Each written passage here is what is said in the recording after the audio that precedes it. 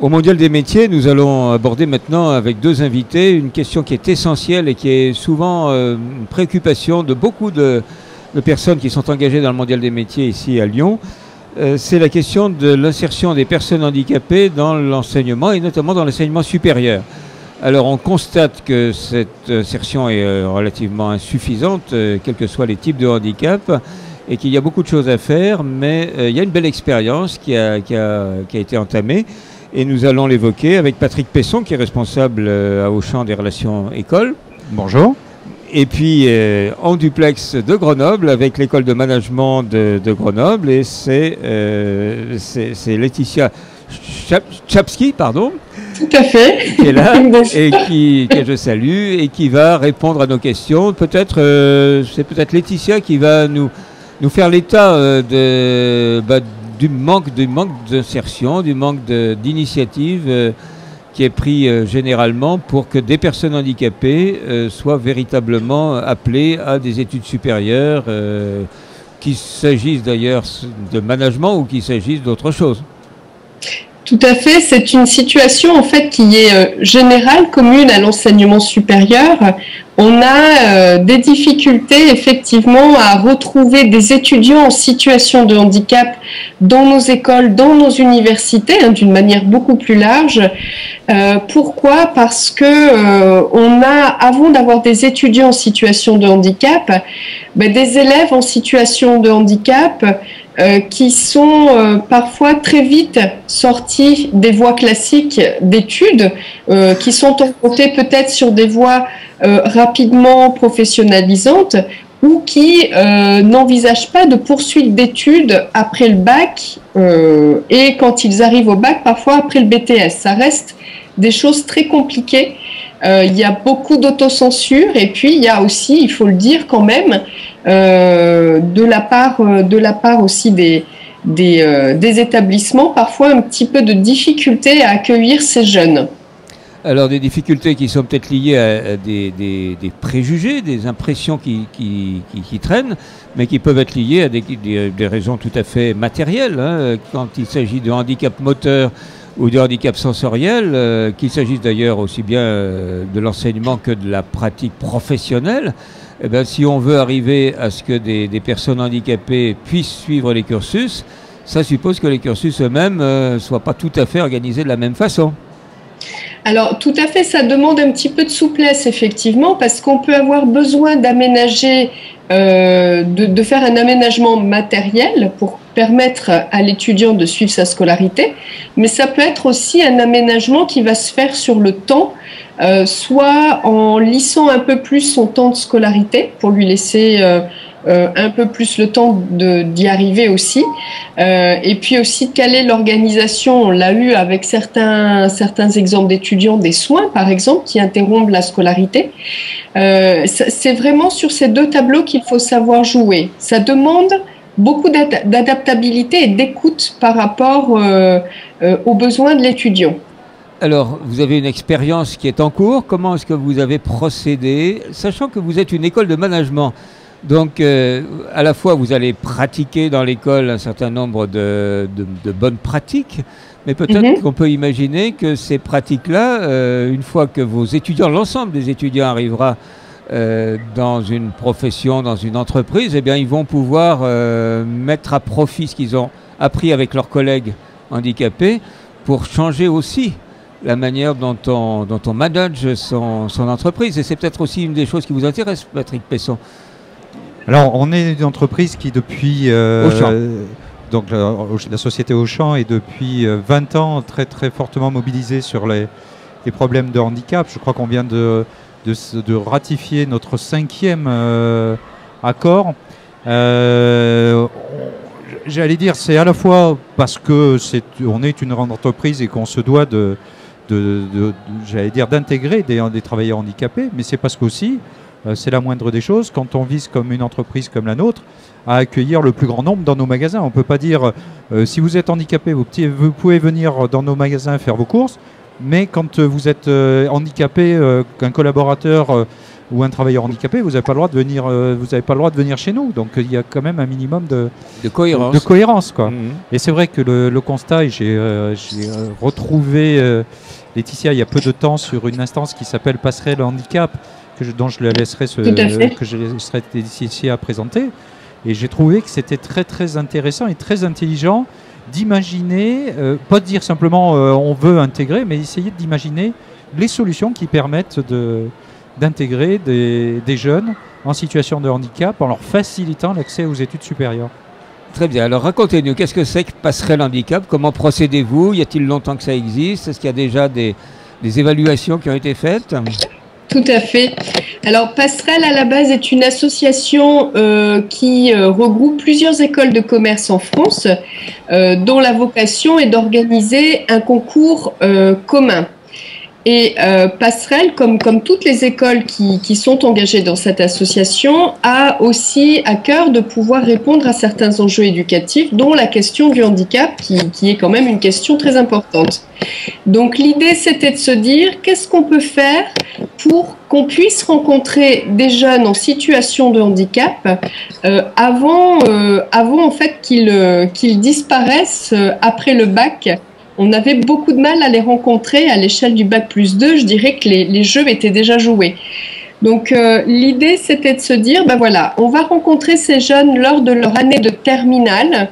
On va euh, faire une sélection et on va leur faire passer un concours post-bac l'année de leur terminale. Et s'ils réussissent ce concours, on va les accompagner dès leur formation bac plus 2, bac plus 3 pour ensuite maximiser les chances d'intégrer l'école de commerce. Les jeunes passent le concours pendant la terminale et ne repassent pas de concours d'entrée dans l'école de commerce. Donc, au début de l'initiative, c'est euh, Grenoble qui a lancé euh, ce, ce concours-là en, en 2008. Et depuis, plusieurs écoles de la Banque Passerelle l'ont repris. C'est très intelligent parce que ça permet en fait aux jeunes d'avoir une visibilité sur 5 ans. Oui. Euh, deux- les deux années ou les trois premières années de sa, forme, euh, de son- sa formation, et puis de déboucher direct, mais il le sait dès le départ, sur une intégration en école de commerce sans qu'il soit obligé de repasser un concours derrière. Alors ça Donc on évite le décrochage, Voilà, puisque oui. c'est un terme euh, Oui. un petit peu à la mode euh, en cours de route. Quoi. Mais ça suppose, euh, ça suppose. L'accompagnement se fait Pardon. tout de suite. Alors, Pardon ça su- L'accompagnement se fait tout de suite. Voilà. Alors, ça suppose que si l'accompagnement se fait, euh, il y a une coopération avec, euh, avec les établissements qui donnent ces BTS. Et est-ce qu'ils sont nombreux, ces établissements? Comment vous êtes mis en réseau? Vous avez sensibilisé les dirigeants de ces établissements, le corps enseignant? Comment est-ce que vous avez procédé pour euh, développer ce réseau avec ces, avec ces lycées ou ces, ou ces établissements d'enseignement supérieur Alors, chaque école fonctionne à l'échelle de son académie Mhm. et euh, met en place des partenariats, de réels partenariats avec ces établissements euh, pour pouvoir euh, proposer des bac plus 2, voire bac plus 3 quand on est sur des formations type bachelor. Mhm. Et l'idée, c'est qu'avec ces établissements, on travaille pour suivre les jeunes pendant la formation Bac plus 2, Bac plus 3, parce qu'ils font déjà partie des effectifs de l'école de commerce. Mais tout le, tout le challenge qu'on va relever, c'est de ne pas perdre le lien, même si le jeune n'est pas encore dans l'école. L'idée, c'est vraiment de garder le lien avec lui pendant ces deux ou trois années de formation après le bac.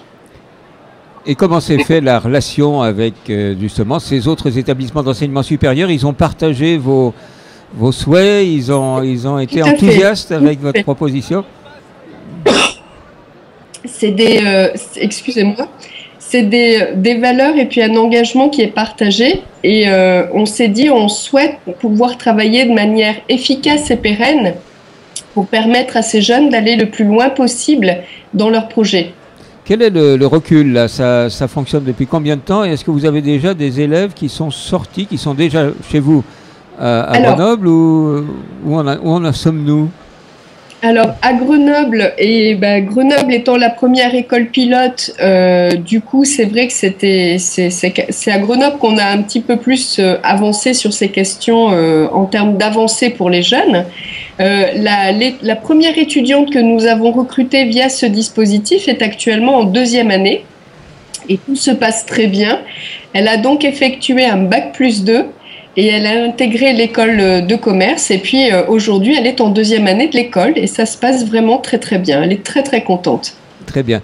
Est-ce que, est que les, les, personnes qui suivent vos, vos cursus euh, euh, sont des handicapés sensoriels euh, de, de, la vue ou de l'ouïe ou sont des handicapés en moteur, des handicapés moteurs? On a, a, on a vraiment tout type de handicap. Tout type de handicap. Et quel est nombreux? Sont-ils nombreux?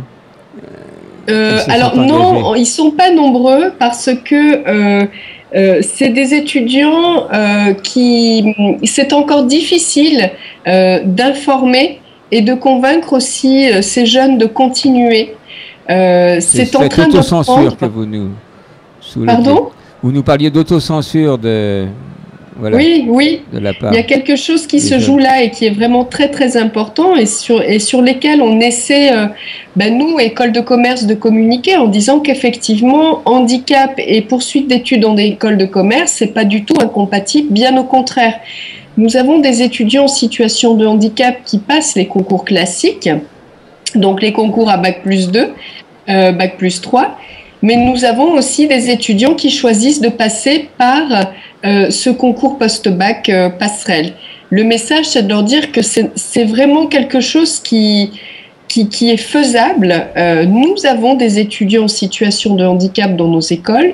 Nous avons au sein de Passerelle, chaque école a un référent handicap, donc qui peut accompagner l'étudiant euh, dès son arrivée au sein de, nos établissements. Donc au contraire, si le jeune a de la motivation, a de l'ambition et si notre école peut répondre à son projet euh, professionnel et à son envie d'évolution, c'est tout à fait jouable. On est en mesure d'accueillir les étudiants. Très bien. Donc, ce, qui est intéressant aussi dans ce dispositif, c'est de parler du soutien des entreprises. Oui. Parce qu'il y, a aussi euh, un côté entreprise et il y a non seulement d'un soutien euh, financier, mais j'ai vu aussi euh, dans les actions de, de passerelle euh, des accompagnements suite à des demandes qui étaient faites par des étudiants en situation de handicap de bénéficier de. Alors, ça peut être des stages, mais mhm. aussi de bénéficier d'une aide sur des équipements particuliers, sur. voilà, il y a. Il y, a, y, a tout un, il y a toute une palette d'actions, faciliter les études en, en études, faciliter les études en fait partie. Euh, oh, vous avez un superbe chat. Bah, Il y en a même deux, non Qui est pressé d'aller jouer, en fait, je pense. D'accord.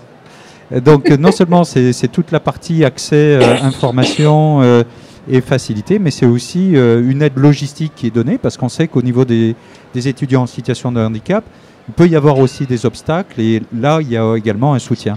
Après, derrière, je pense qu'aujourd'hui, on est un peu frustré. J'avais ma correspondante handicap au champ euh, hier au téléphone, qui me disait mais euh, bon, euh, on aimerait avoir plus de demandes d'étudiants mm.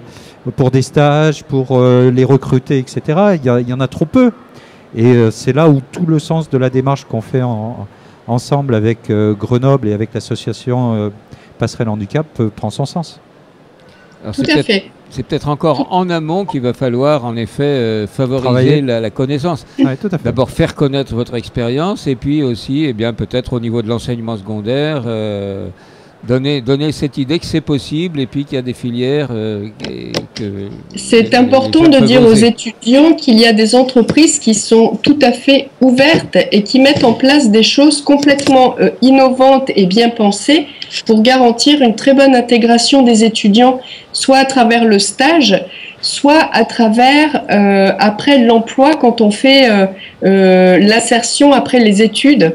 Et l'accompagnement qu'on fait au sein de nos écoles, de toute façon, est toujours euh, en collaboration avec les entreprises. Hein. À la base, nous sommes des écoles de l'entreprise, donc c'est aussi important de le rappeler et de se dire eh bien, que sur ces questions-là euh, et sur ces dispositifs-là qu'on appelle égalité des chances, en général, nous avons aussi besoin des entreprises et euh, c'est vraiment un message qu'on porte à deux pour dire euh, sur ce type d'études et, l'enseignement supérieur et l'intégration dans le milieu professionnel, il, faut, il faut y aller. il faut y aller. Finalement, le seul frein, après, c'est éventuellement celui qu'on peut se mettre nous-mêmes. Sinon, il y a beaucoup de choses aujourd'hui qui sont possibles et, et, euh, et on ouvrira les portes, il n'y a aucun problème.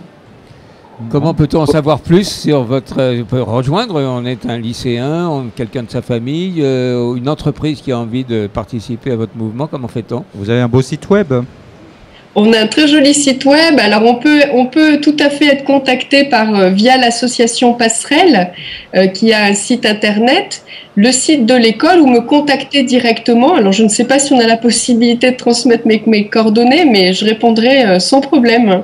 Ça sera mis sur nos sites web aussi, de nos médias, hein, médias citoyens. Voilà, ben, on a fait le tour. On a fait le une tour. Petite Je pense que conclusion, de- euh, un petit mot Bah, écoutez, je pense qu'il faut qu'on continue l'effort de communication parce que c'est un grand merci de votre invitation parce que c'est en, en communiquant qu'on va pouvoir aussi toucher, qu'on va pouvoir faire bouger un petit peu les, les clichés, les préjugés et puis qu'on pourra jouer notre rôle à la fois d'école et d'entreprise citoyenne. Voilà, ben, on vous remercie, Laetitia Tchapski et, et Patrick, Merci Patrick. Pesson. Merci. Voilà, et